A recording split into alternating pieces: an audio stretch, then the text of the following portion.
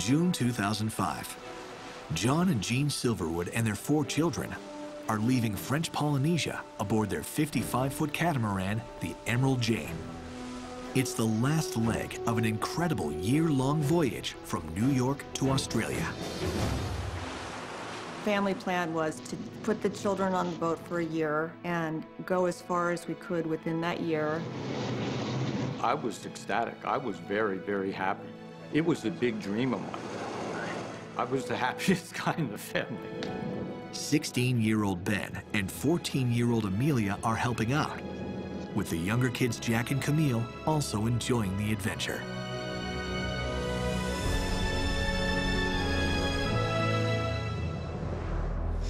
June 25th is another perfect evening in the South Pacific.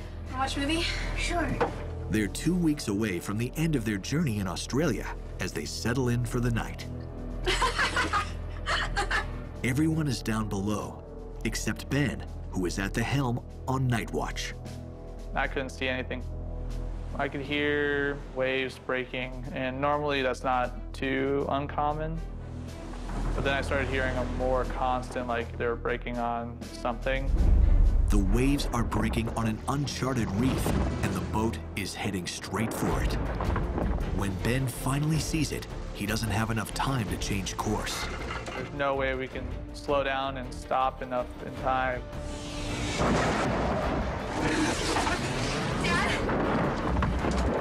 The boat just started shaking. From there, it was just crazy. I remember looking at my dad and just seeing that look on his face really scared me. Dad, what was that? Guys, hold tight. I'm gonna get the sat phone. Go with you. Go. Jack, come on. Ben, what happened? I bound up the stairs and I jump out into the cockpit. And right away, by the lights of the ship, I can see the red fingers of coral beneath us, and I know that we are in a world of trouble. Gotta go to the bow now. The Emerald Jane is stuck on a coral reef. As water enters the damaged hulls, waves are also pounding the crippled boat. We're just getting bombarded with wave after wave after wave. Amelia radios for help, Hello? while John activates the emergency beacon. Mayday! Hello? Can anyone hear us? Kids, let's go topside. Come on. The kids perch on the stern of the boat, while John and Ben go to the bow to grab the life raft. And then,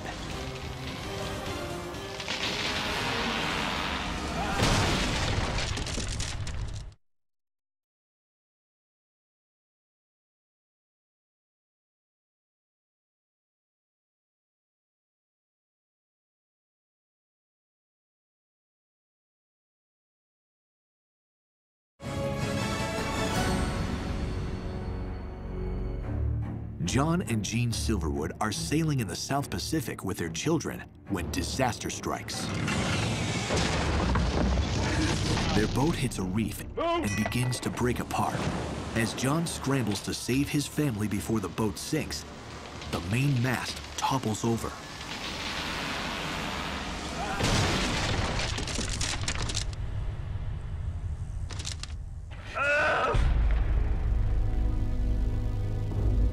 Next moment, I could see the mast of our boat. 80 feet worth of mast is across my knees.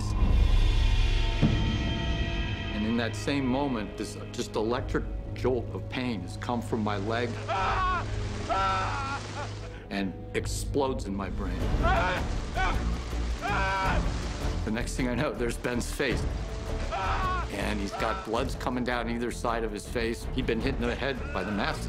The mast, the mast fell. Ben's head injury isn't bad, but they can see that the mast has gored John's left leg.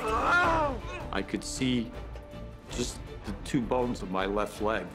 They, they were cut off, they were shattered. Get this off. And beneath the white of the bones, there's just this spreading pool of blood. Having heard the crash, Jean rushes forward to see what's happened. Ben just said to me, Mom, you don't, you don't want to see it. My mom ignored me, and she started to freak out. I just went into complete shock. It was like my whole body shut down. It just shut down. Jean was in a, a world all of her own. She was completely disoriented. I'll be, I'll be right back. Ben immediately goes into action. First thing I knew I needed to do was to stop the bleeding. From Boy Scouts, Ben knows his only option is a tourniquet. Dad, Dad, I gotta put a tourniquet on, okay? I gotta start the bleeding. So I came back with a couple screwdrivers and I tied the rope around his leg. But Ben also knows the risks of applying a tourniquet that may have to stay on for many hours. That person's probably gonna lose the limb. I gotta make it tight, all right? I knew just the amount of blood that was coming out, I knew that he would die otherwise. There was no other way. Was pretty sure he was willing to lose his leg over dying. It was a brilliant decision, and if he hadn't done that, I'd have died on the spot.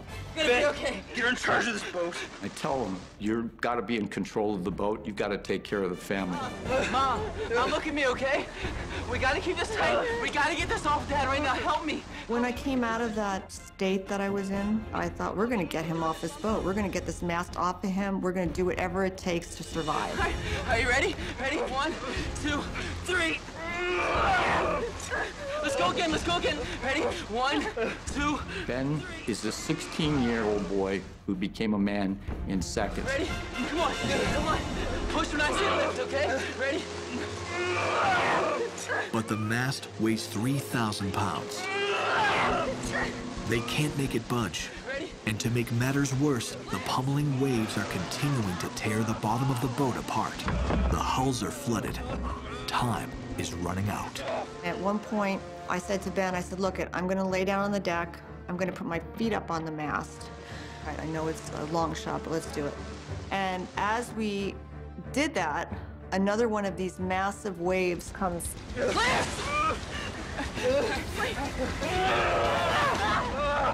The force of the wave shifts the boat, allowing them to finally move the mast off of John's leg. My leg came out from underneath. Ben and Jean drag John to the stern of the boat to join the other kids.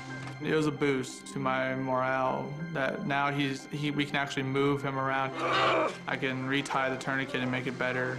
And if the boat does sink, it's not going to take him with it.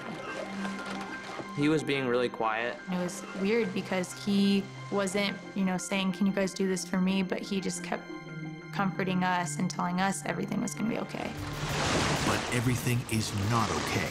They know the boat won't stay afloat much longer.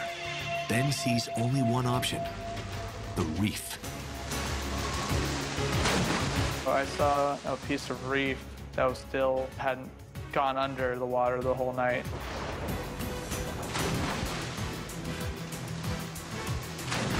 So I knew that that was probably a much safer place to go to than being left on the boat.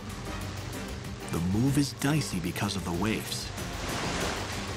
The younger kids are safe, but getting his dad will be much tougher. And I'm laying there, and I think this is my final resting place. I was doing everything and everything I can to save my dad.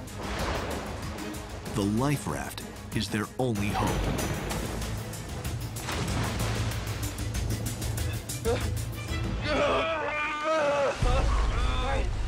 Against the odds, they all make it to the reef. We get them to this little tide pool right in front of the ledge that we're hanging out on. So we're safe. We're all off the boat. By the next morning, their boat has completely broken apart and sunk. They are now stranded on a small reef with John barely clinging to life. I completely understood in an instinctive way that to stay alive, I needed to stay awake.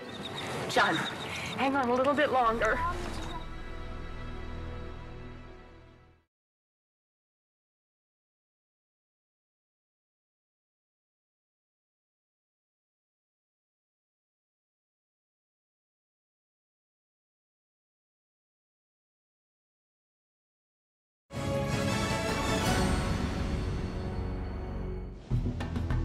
John and Jean Silverwood wanted to take their children on the ultimate adventure of sailing around the world. Instead, they are in a desperate struggle after their boat hits a reef in the South Pacific. The main mast falls, crushing John's leg, but the family manages to get off the boat before it sinks. Now, they are trapped on a reef in the middle of the ocean as John fights to stay alive. John, hang on a little bit longer. It seemed like the most luxurious thing in the world to let go. But I couldn't. I never, I never considered it. In the early morning, Ben notices what looks like a moving star on the horizon. When it keeps moving, he realizes it's a plane. Ben is ecstatic. He's jumping up and down. He's yelling, Dad, Dad, they're coming, Dad. The jet's coming. That was when Ben shot off the flare. And that was like strike of hope. It was like, Dad, it's gonna be okay. Look, they're here. You could tell that they had seen it. And we were, oh gosh, we were just so elated. The jet circles and drops some flares, then goes away. Wait! Wait! I knew there was no way a plane could land there, but we were wondering where's the follow-up, where's the helicopter, or where's the boat? Because my dad needed help now, not, not in a few hours. I'll come back. I'll come back. Fortunately, there's an island nearby, inhabited by a Polynesian family. The pilot contacts them, and they immediately head to the reef in their fishing boat. It's a boat! Help! Came in a really beat-up dinghy, Help! Dad, his leg's up. It's, it's broken. He's- and so I was trying to communicate to my, them that my dad was in serious trouble, and that we had to get him going now. It takes an hour to get back to the island, but they don't have any medical supplies. They tell Ben and Jean that a rescue helicopter is on the way. That was when I think it started to really hit me that that's my dad over there, and look at how pale he is. That's what people look like when they die. I'm just thinking about what's going to happen to John. What's going to happen to John? You know, is he going to make it? I knew I just had to conserve. I had to remember I wanted to hear my heart beat, and I wanted to hear the air go in my lungs. Just breathe, honey. I was completely consumed with those two jobs. Awake, Dad. Stay awake. Breathe deep. Breathe deep. Helicopter's here. I cried. I knew help was coming. I knew there was going to be a doctor.